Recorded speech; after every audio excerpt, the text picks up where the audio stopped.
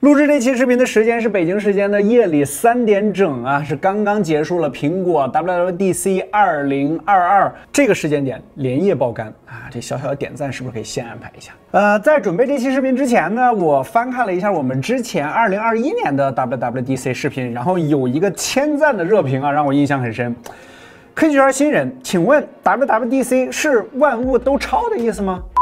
好，大家好，我是双九，欢迎收看本期小白测评啊。今年的 WWDC 内容量是非常庞大啊，我们用十分钟左右的时间把精华给大家提炼一下。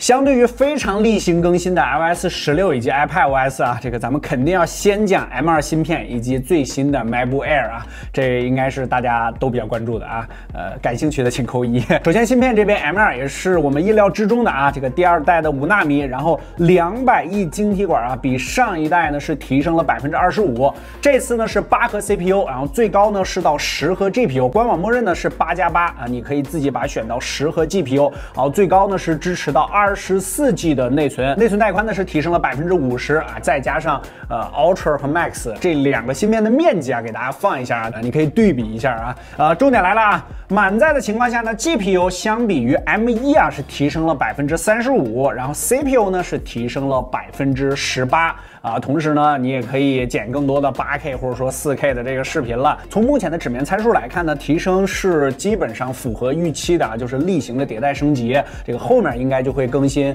呃，这个基于 M2 的，比如说 Ultra 或者说 Max 了。然后搭载它的这个新款的 Air 呢，这个整个 ID 模具上啊，全部都换了啊。这个我现在桌子上放的，这就是我自己用的这个 Air。这个新款的 Air 呢是1.22千克，比上一代呢是轻了一丢丢。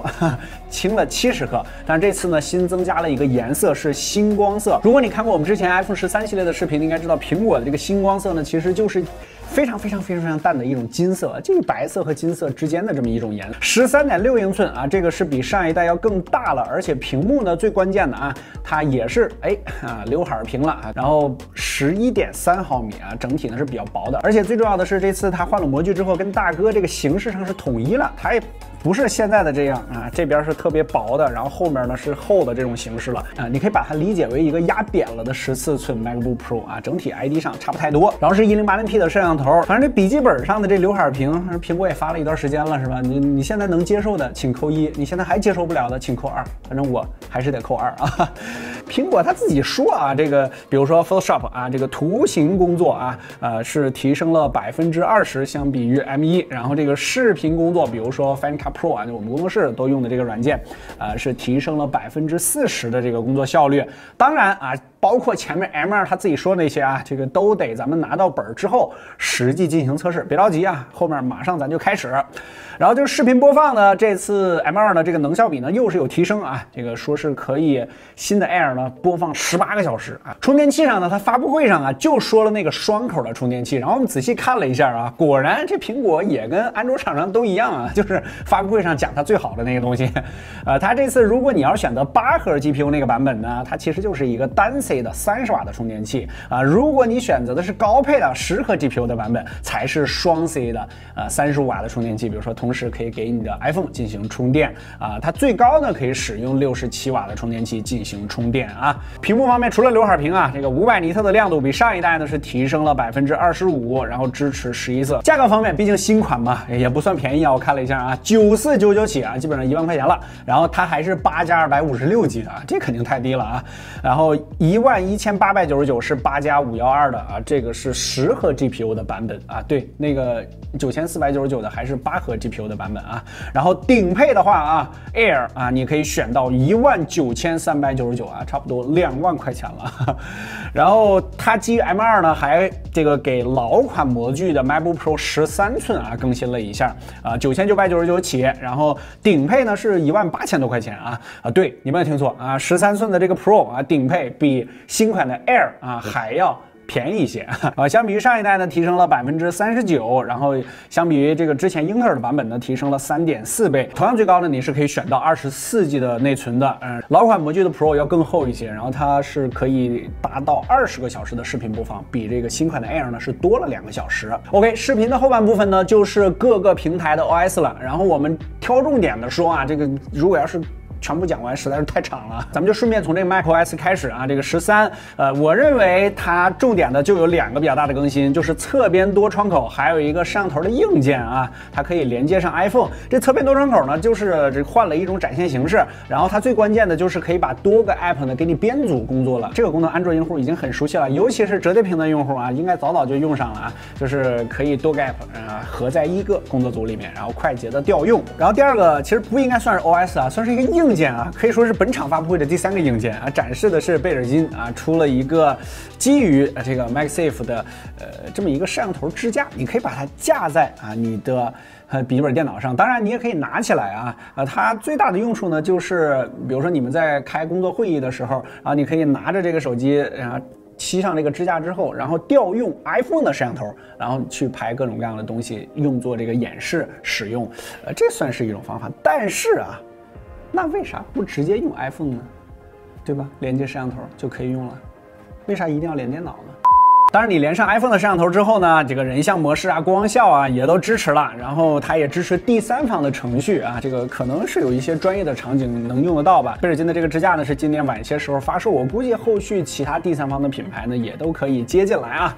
OK 啊，下面呢就是 iOS 十六啊，就更新了一个新的锁屏界面。OK，结束。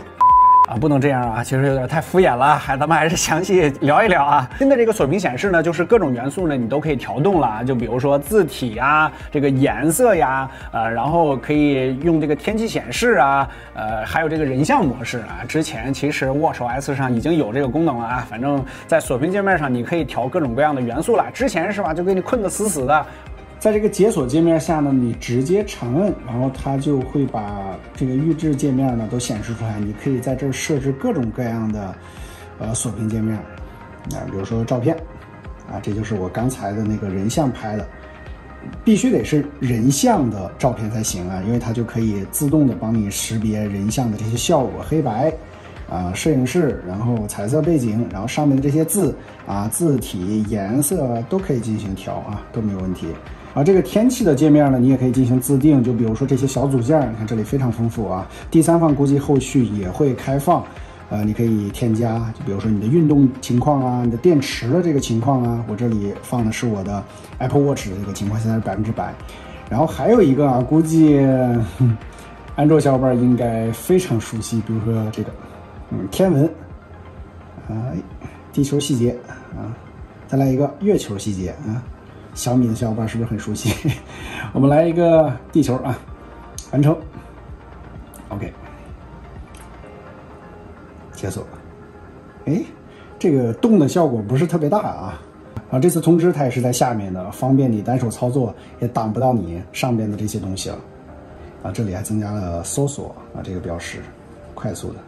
然后我们发现它这次是支持了 这个横置手机的时候解锁啊，这台是没有升级的啊，我们特意带了个壳，然后比如说横置的时候，你看它解锁不了，但是这个再来一次啊，看就解锁了，注意看这里动画也挺快的啊，你看直接一打开就没了，啊。这是 算是一个新的更新，不知道有没有什么应用场景啊？啊，第三方的 app 呢，可以在锁屏界面上呢显示一些快捷信息，比如说打车的时候啊，你在锁屏界面就直接告诉你这车到哪儿了。嗯，估计安卓用户还是在打，就这。OK，下一个就是信息啊，这次它支持了撤回的功能啊，不知道是不是跟微信学的啊？然后它可以标记成未读，然后还有个很有意思的功能啊，我觉得微信可以学习一下它，就是发出去之后的这个消息，它可以重新编辑，这个防止你打错字啊，或者说说错话。话呀，然后它默认的输入法呢是支持了语音听写的这个功能，是基于它自己系统级的啊。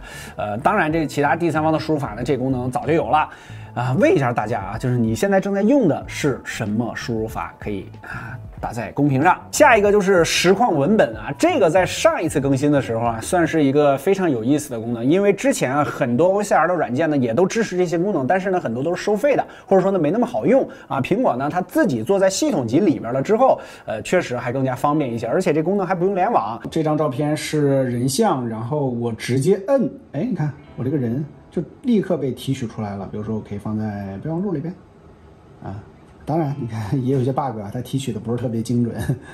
呃，然后在视频方面呢，它这次也可以，不过呢，你得先把视频暂停啊。这个是我们当时，Apple Store 武汉开业的时候拍的啊，直接摁这个字就直接可以复制粘贴了啊。这是在视频里边啊，呃，如果要是非人像呢，我不知道是现在这个版本的 bug 还是它是就这样识别的。比如这视频我们现在暂停，然后你看长问，这是识别出来了一块什么东西？哎，哦，它其实是把中间的这一条苹果给 识别过来了，可能是 bug。然后还有一个就是与时俱进的这个 CarPlay 啊，这个它针对目前各种各样的这个新能源车、电动车呢，现在屏幕越来越多啊，屏幕也越来越大，是吧？呃，它出了这个大屏的兼容，然后有不同的风格，它可以控制汽车的呃功能也更多了，比如说空调啊、什么风速啊，然后它都有相应的这个展示界面啊，算是对呃目前新能源这批大屏车呃一个跟进的推动吧。Watch S 九这边呢，怎么来说？就是如果你用得到，那就是特别特别重要的功能更新。但是如果你用不到啊，你就感觉没有更新。增加了四个表盘，然后新的 Siri UI 体能训练这个更新呢，如果你要是跑步爱好者的话呢，那么应该是个挺重要的功能啊。就比如说它可以呃基于你常用线路的这个保存和这个运动的情况呢，来进行比较，然后来智能的提醒你，哎，你运动的怎么样啊？这个不能过量啊，或者说激励你出更好的这个成绩。然后基于新的算法呢，它可以有。三项跑姿的测量啊，就比如说根据你胳膊这个晃动的程度来判断你的这个跑姿情况。睡眠这块呢，增加了深度睡眠和浅度睡眠的这个监测啊，小米用户表示很熟悉啊。然后心脏这块呢，它有一个监测房颤啊，就比如说历史啊、时长啊，有相应的一些监测。当然这个功能不知道什么时候能上啊，然后它可以生成比较详细的呃健康信息的 PDF。OK，最后一个 iPadOS，我觉得值得讲的呢也就两个啊，第一个就是它可以通过 iMessage 快速发起协助啊，这是一个很重要的功能。就比如说，哎，我这不会弄了啊，你赶紧帮我一下啊，要么你打电话打视频电话是吧？我可以直接快速通过这个发起协助，然后协作的时候可以通话，还有视频啊，全部都接进来啊，这个系统级的稍微方便一些。然后第二个就是跟 macOS 非常像的侧边栏多任务的一个展示。现在这台 iPad Pro 呢，我们已经升级到了最新的 iPadOS 十六，然后我们现在跟这台 Studio 呃 Studio Display。连接到一起了啊！它这个侧边的多任务窗口已经出来了啊！其实也很简单啊，就是把你的 app 就放在了侧边，然后你想要哪个就是点出来就 OK 了。这个文件和它直接拖过来啊，它就组成了一个编组，然后它是可以自由的拖动大小的啊。我们把它拖长一点，哎，也可以啊。然后我这个时候想看这个编组，直接点过来就 OK 了啊。不过啊，提醒注意啊，只有 M1 芯片的呃 iPad 才可以。Pad 本身呢，它也增加了一个按钮啊，比如说现在这是普通的分屏模式啊，很常见。然后你一点它，哎，它就会变成这个侧边栏。比如说调整大小啊，我也都可以啊。这个多个 App 啊，比如说这个我们就是四个在一起啊。当然呢，这只是我们快速的啊，比如说现在才。已经到凌晨的这个五点多了啊，肯定会有一些功能呢，呃，不是那么完善。等着它更新正式版之后，我们再好好跟大家体验。可能有一些最终的版本呢不是这样的，我们可能也没说对啊。OK，总结一下啊，就是一句话啊。改变不大啊，大家可以把这四个字打在公屏上啊。最显性的更新我看了一下，应该就俩吧。第一个就是 iOS 的锁屏界面变了，然后还有就是啊 iPadOS 和 macOS 的呃这个多任务的侧边这个显示，然后 iPadOS 的这个小窗它可以缩大缩小了，这个就是最显性的吧。OK，各 iOS 的支持情况呢给大家打出来啊。这个 iOS 十六呢最低要求就是 iPhone 八起了，如果你恰好错过了啊，请扣一。watchOS 呢要求 S 或 SE 及以上的这个设备才行了。如果你正好也错过了啊，请继续扣一。iPadOS 呢是要求 iPad Pro 啊、Air 三啊、iPad 二零一七，也就是第五代啊，还有就是 iPad mini 五，呃及往上的这个设备。如果你又错过了啊。也可以扣波一，OK，呃，OS 这边呢，这个更新上呢，现在确实已经比较成熟了啊，已经没有什么特别让人哇，然后眼前一亮的这种基于软件层面这个更新了。我觉得后续啊，这个应该 iOS 这边呢，还是继续放宽各种各样的权限。之前的小组件，现在是锁屏界面，就是一步一步往安卓这方向去呗，就是把权限更多的交还给你。iPadOS 和 macOS 呢，就是两两边呢更加相互的融合。这个大概就是这么一个演进方向。当然，今晚的重点呢就是 M2 和 Air 了。满分十分的话，这个新款的 Air 你给几分呢？可以走波弹幕。OK 啊，连夜爆肝完毕啊！如果觉得本期视频对你产生一点帮助，记得在下方给我们点个赞。别着急啊，后续的这些硬件呢，我们都会在第一时间为大家带来体验和测评，大家记得关注小白测评就可以了。不过真体验，我们下期视频再见，拜拜。